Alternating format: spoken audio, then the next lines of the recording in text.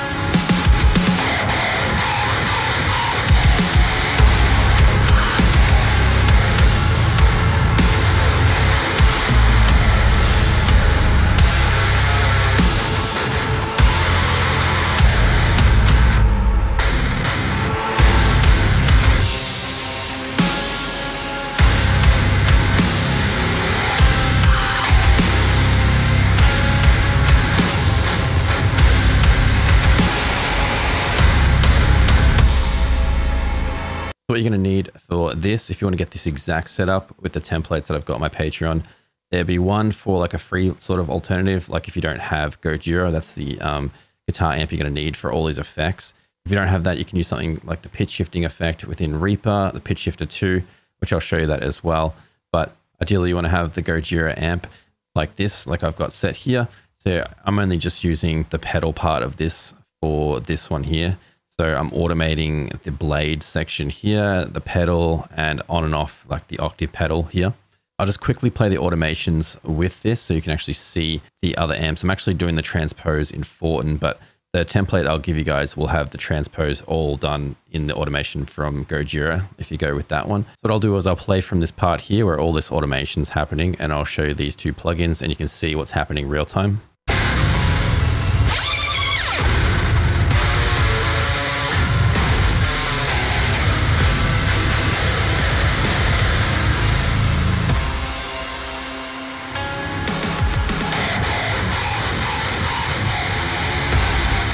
You can see that on Fortin, the transpose was automating and you can see the pedals and stuff here were automating as well. So the way to do that, so if you're starting from a blank session here to set that as automations up in Reaper. So I've got Gojira here, open up, just a blank one here. The way to do the automation and set it up like in Reaper, there's a couple ways. So the first option is you can right click here, the track envelopes and automations, and you're going to see down here, you're to see effects parameters, and you'll actually see the plugins that you've actually got. I've only got one plugin on here, so you can see all the things we can activate. So if we want to activate, for example, the pedal here, we can go wow pedal, and that will turn on our automation here. You can see now it's there, and we can um, control and we can draw in sort of any automations that we'd like. And we can also just do points like that and drag to sort of pitch it up, whatever it's doing there. So it's 100%, that's to zero. So depending on what envelope you're automating will have different effects. Some are bypass, some will have the transpose, so it'll go from semitones to maybe to 24, depending on the pedal part there. So I'll just remove that one. So that's the first way to add automations for anything in the plugin or any plugin. Second way to do it is just to click on that button itself, and that's going to open up all of everything here. So you can see the normal automations you can do, like volume, mute, which is separate from the plugins. And you can see here, this is our VST plugin here, Gojira, and we've got the input. We can do, you know, the pedal, octaves, basically anything that's on the plugin there, we can automate. So this one here, we can hit the transpose, we could arm it, and it hits all three. And you can see here it's at zero. So let's find a part that we want to transpose. So this first part of the track here, you can see there's uh, two notes here. So one note that goes there and one open note that goes there. So we want to add, the first one was actually negative three, and then I had negative six for the second one. So those two open notes. So I can just basically, a couple ways to do this. So you could just draw it in like that and drag it down. But then you've got to add extra like nodes here to bring it back up and move it around. So that's one way you can just draw it in like that. But the better way that I like to do is get your selection tool like I've just done there and just highlight the note that you have. So I've got this whole note sounds like this. So now I've got it selected on that note. We know we want to drop it three semitones. So what we can do is I like to right click and then you can go to automation items. Then you want to go to insert new automation item and it's going to bring this up here. And this is really awesome. If you haven't used automation items, they're a lifesaver and they've got a lot of great uses and it just speeds everything up. So you can see here that zero transpose. So if I open up the plugin, you can see here, here's our transpose. So what we can do is we can drag it down to negative three. So now see it's on zero, move the cursor over and it's going to drop negative three. And to reset them, you can double click the nodes here and that brings them back up to the unity. So whatever it was set to zero. We can drag it down to whatever we want, negative four, negative three. So I'll drag that one back up to negative three. And for the second node, it was negative six. So we can do the same thing. We can right click in that space and then go to automation items, insert new automation item. It's just going to fill in that selection and then we can drop it negative six. Now also you can also click here on those nodes if you want to be precise and you can go set value and it's going to open up this little value box here and you can actually type in whatever semitones that you want to go down. So if you're finding a little bit of trouble getting the right semitones to drop, you can actually get a precise number there by just right clicking the nodes, especially if you're drawing them in manually like this and you want to click and set the node to a certain value. So that's how I'd set up the transpose there using automation items just for like a straight dip. But you can also ramp things. So you might want to do a different technique, which I'll show in a minute here. But while we're still on automation items, one thing is really cool is you can just copy them and you can just paste them wherever. So we could paste it over to this next section if we wanted to. Obviously it doesn't go over that part, but we can paste them as much as we like and just keep pasting them. And then we've got all these automation items. Another cool thing about them as well is if you're doing, say if you're in the writing process, you're not quite sure and you don't know what semitones you want to drop them by, you can actually create a pooled duplicate. So if you right click on this, we've got negative six. So if we want to create a duplicate, go create pooled duplicate. Now, if I drag this over here and you can see it's at negative six. So if I drag it down to say negative 11, see how this one changes as well. So now we have two pulling down at the same time. So, or going up semitones. This is really useful. So you're not creating like all different ones. Say like if you're not quite sure if you want to have a negative six semitone for the key or you, you don't want that flexibility and you know, it's just makes it a lot easier. So you can create it on its own or you can create a duplicate that sort of mimics what you're doing. So it's good for volume automations and stuff like that as well, things that are repeated.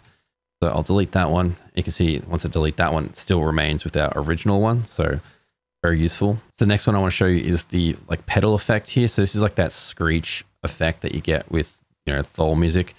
So it sounds like this. So if I solo the guitars, so you can actually hear it just on its own. And it's this blue automation here. You can see it ramps up and then it ramps down. And it's the wow pedal in Gojira. And if I open up the plugin here and let's take a look and let's play and see what the plugin's doing with that automation. Now there's a lot going on there, but basically you can see the pedal going up and down.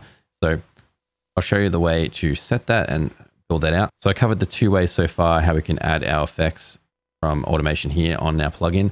So the one way here was going to here and finding the plugin or actually clicking the track envelope automation here and selecting it.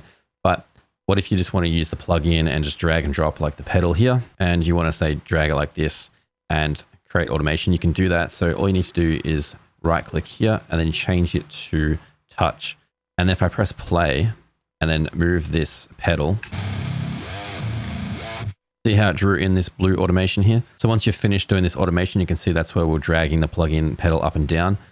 See here, it's still in yellow. So we want to change that back to what it was, which is trim and read. So basically, if we go back into our plugin, it's not going to create any more automations like if we're moving it or touching anything else on the plugin. So it's otherwise it will keep writing automations if you're changing settings and you don't want that. So you kind of want to set it and then once you've got it in here, you can just delete.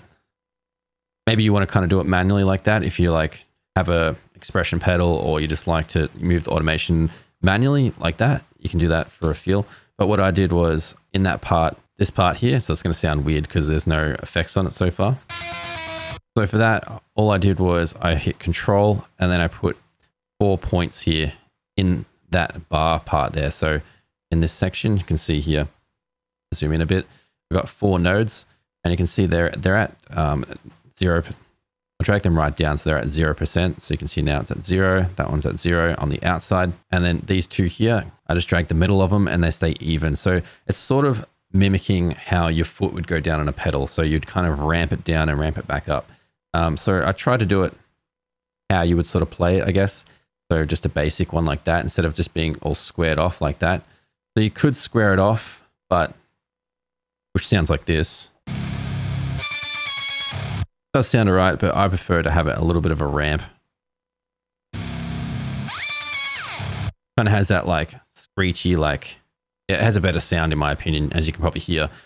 I like it. So you can actually set this up in Reaper and you can have like as you play along it just does all the automations as well. So when you're playing along to the track you can have all these automations set and just play along and it'll just do these automations. So you don't have to physically touch anything. It's all set in stone for when you're jamming the song or writing like this. That would cover you with most things. Now there's another technique called like a dive bomb so you can see here on screen how it sort of goes down from five, negative five semitones all the way down to negative 12. So it's a dive bomb and it sounds like this. So it's basically just diving straight down. And you could do this either way. You could do it going up. But to do that here, you can see it will do it for this part here. So I'll just make a selection here. And we can use the transpose option here if we would like.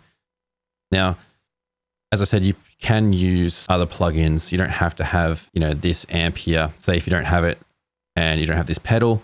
So let's open up a free version here. So, so in Reaper, we can search for pitch shifter 2 here, and we'll put this at the start here before any amp effects because you want to have everything that's pitching before any distortion. Now you can see with this plugin here, it's got, you know, cents, it's got semitones, and it's got octaves. So what we can do is we can use one of our techniques to find what we would need. So let's find, we want to use the semitones one here. So again, we can use the three options. There's more options to do the automations, but that's the three I like to use. So the touch one, we can do this one and just press play and we can drag the slider. Make sure we go back, right click here and set it back to trim and read.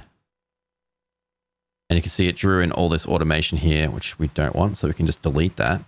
And it's going to be at default at zero, which is great. So it's pretty easy. Just add your node in like we did earlier. We're control click, just make three nodes like that. And then we can just drag this last one down and make sure this one goes back to zero. So pretty straightforward there and pretty easy. I think you can even hold Alt. And if you hold Alt, you can kind of curve it if you really like to do that as well. Um, so mine's just a linear. I think the linear sounds fine because that's pretty much what would happen. Sort of a curve like that might sound cool. Let's try it out.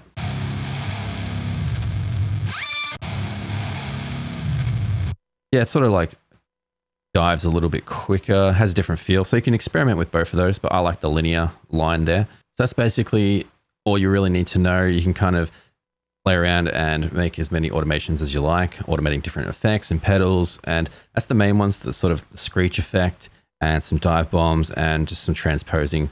Um, so you can do anything creatively, like you can see here. Um, for this little section, I actually did like a linear pitch up where it goes from zero semitones up to plus four. So, and that sounds like this.